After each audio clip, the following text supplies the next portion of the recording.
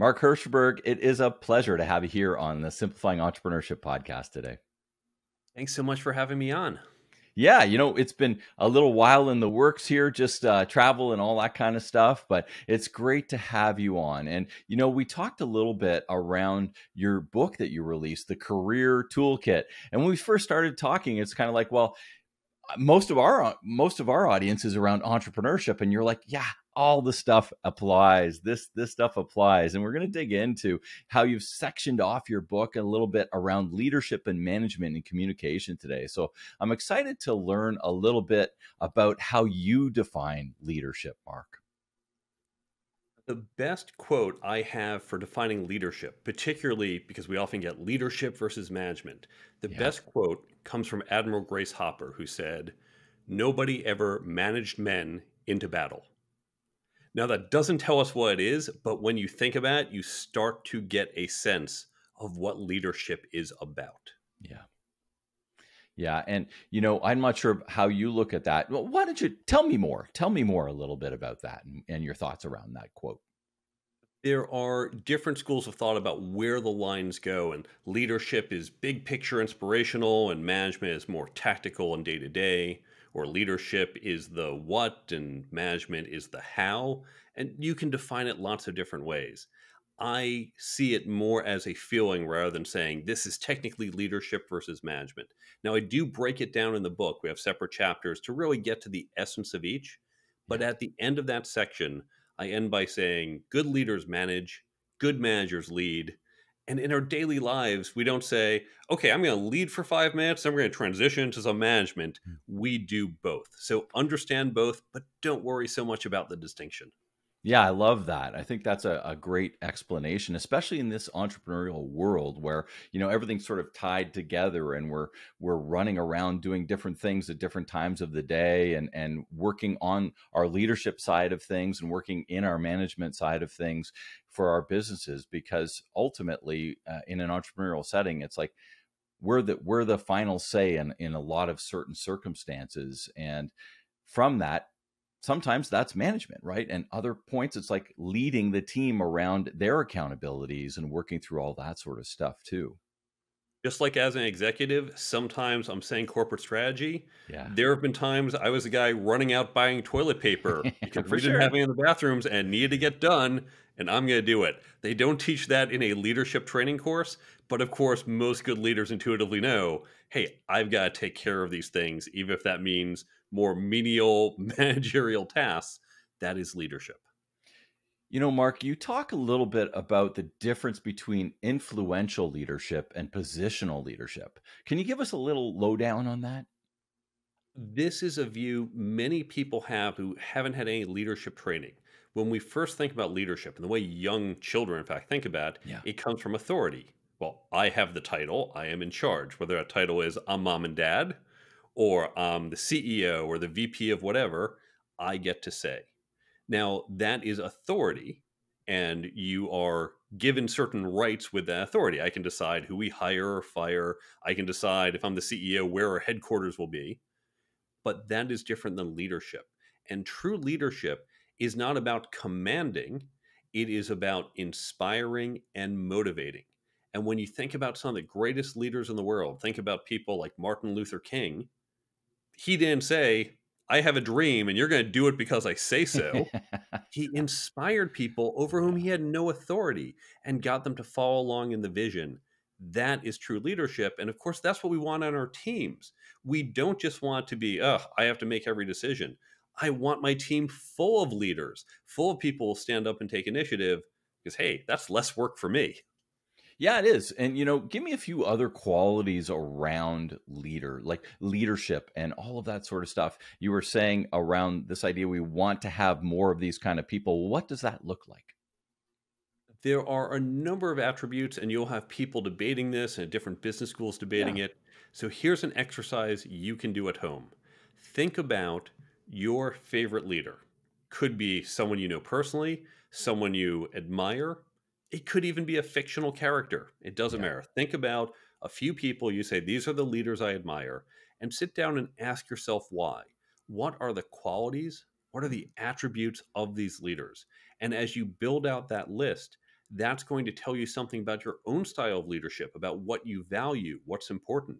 Compare that with other people and ask, hey, what do you value? And you're going to see slightly different lists, which can help you expand your understanding. So there's no one answer, but by reflecting, we can get a better understanding of our own view of leadership. Yeah, and that helps you build team culture and and corporate culture as well around your business because ultimately as entrepreneurs we own the business. So for the most part we're setting culture too, right? Absolutely. And culture by the way, it's not the four values you list on your website. It's the day-to-day things that right. actually happen in the company that no one actually writes about and it's important to get those right. Yeah, absolutely. You know, you mentioned having the right answers isn't always necessary. And this again, yeah, it, it's another view that a lot of younger, less experienced leaders have. They think, well, I'm, I'm in charge. I have to know what to do.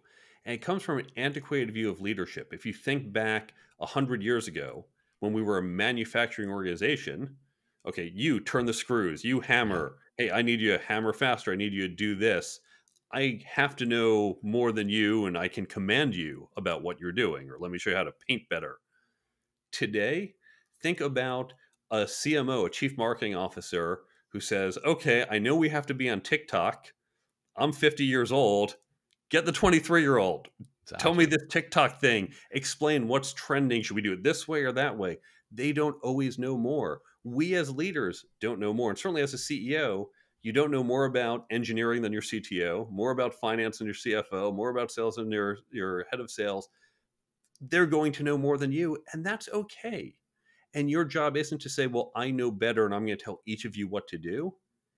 It's how can I get us together to find the answers? And that's true at the CEO level, at the executive level, even at the managerial level, no matter what level. Hey, team, we have to get the answers. My job is to help us get it not to tell you what to do. Communication is such an important part of leadership. And, you know, I just, I talk a lot about communication and setting up frameworks and creating clarity around the ideas so that you can communicate them in simpler ways. I mean, that's that's the idea around simplifying entrepreneurship is that we take things that are hard and complex and break them down into uh, easier ways to describe things through models, so that we can actually communicate them in an easier way. And can you can can you provide some examples around how you found in your work that you've done at MIT and all the other different people that you've worked with around where leaders had issues in communication? Let's look at one of the most fundamental communication challenges we all suffer from. Imagine if right now you had to pitch a new idea. Maybe it's to some investors or a client, and you knew this person was incredibly left brained. Yeah. I think of, for example, Sheldon from Big Bang Theory. okay, you have to pitch to Sheldon. How would you do that presentation? You would have a very logical, well thought out PowerPoint presentation, and you'd have your points and your sub points and sub sub points, and you'd go through it in a very orderly fashion. And that's great. That's what Sheldon wants. That's what that person wants. Now imagine you're pitching the same idea to someone who is that classic scatterbrained artist, really visionary. If you start in in that same PowerPoint presentation, you're going to lose that person in about 30 seconds. And it's not just, oh, well, PowerPoint or no PowerPoint. Just doing the, I have a 13 point presentation with subpoints and sub subpoints. No, you're going to sell them emotionally. You're going to sell them on the vision, the big picture, some other way.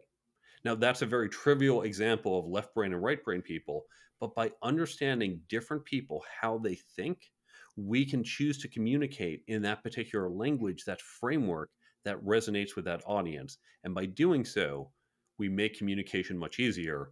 By failing to do so, we're practically speaking different languages.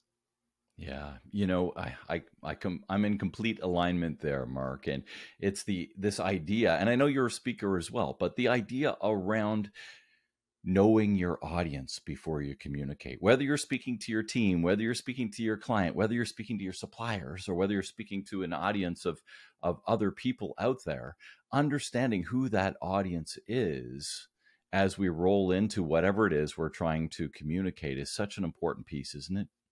exactly right. And when we don't do it, the analogy I use imagine if I go off to China. Now, I don't speak Cantonese or Mandarin, so I have to get an interpreter, or I would have them say, Well, you speak English, you knew this, so I'm going to make you do the work. And my entire audience has to sit there and take everything I say and translate it in their head. And I'm asking them to do extra work, and I'm taking away their attention from the actual message. So instead, I want to make it easier for them, remove all that extra work so they can focus on the core message. Yeah. No, I think such an important piece. One of the other things that that I wanted to dig into is um, the idea around and people talk about this a lot are you an extrovert? Are you an introvert? How do i communicate if i'm an extrovert? Well most people who are extra extroverts just blather it out you know? I mean I, am I'm, I'm an expert eh, or expert. I'm an extrovert and and i don't have a problem usually getting what i want out. But for those people who are introverted leaders What's your suggestion for communication and betterment around that, where they they may feel as though they aren't as good a communicator, and they may be a great communicator, but they may not feel that way. What? How do you suggest they go about being a better communicator as a leader? One of the important skills we see time and again on lists of what people look at in leaders is listening skills. Yeah. And that's where introverts really have an edge because mm-hmm. if you put two extreme extroverts in a room together, they're both just going to start talking and talking over each other.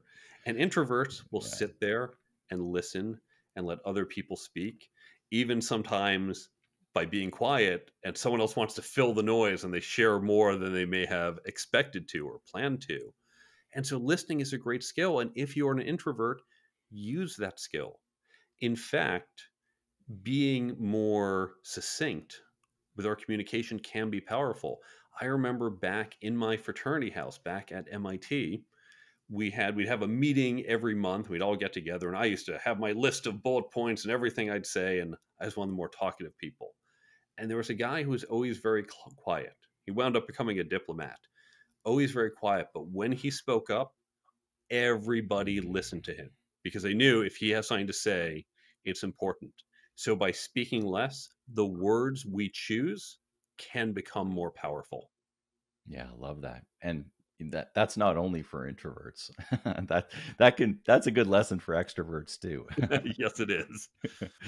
Mark, it's been a real pleasure having you here on the Simplifying Entrepreneurship podcast. And before we go, I want to let everyone know how they can get a hold of the Career Toolkit, your book, and also I understand you have a new update to your app the, the way you can get the book, you can go to thecareertoolkitbook.com. There you can see where to buy the book, Amazon, other places. Get in touch with me or follow me on social media. There's new articles every week. And there is a free resources section with a whole bunch of free downloads and links to online resources, including programs like the Career Toolkit Development Program, which can upskill your entire team completely free. So all of that is at thecareertoolkitbook.com. Awesome. Now, I also have an app Brain Bump. We first created the Career Toolkit app because I know when you read a book like mine, say, okay, great book, lots of good advice, and you forget it two weeks after you finish reading it. Well, you want to retain that, and this app is designed to help you retain it. It basically can be opened when you need it. Oh, I'm going into a networking event. What are those networking tips? Pull it up, go through those tips. Or you set it at a time each day where just as a push notification. Some of the advice we talked about today or in the book is going to pop up and you go, all right, good point. Listen more as a leader. Swipe. And that helps to keep it top of mind.